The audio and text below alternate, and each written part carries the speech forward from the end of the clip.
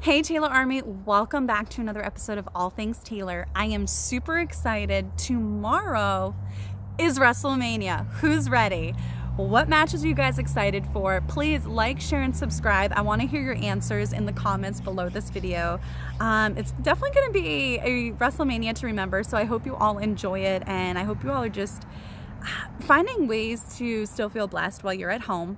Uh, let's kind of change the narrative a little bit with just one word. We're not stuck at home. Most of us are safe at home.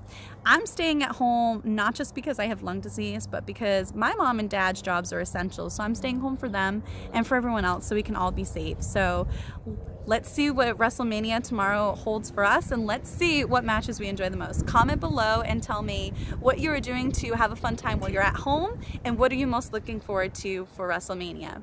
Be sure to check out my podcast on russosbrand.com called Talks with Taeler Hendrix. I have some awesome, awesome guests with some really great stories to tell coming up. Next episode is Tuesday. Talk soon.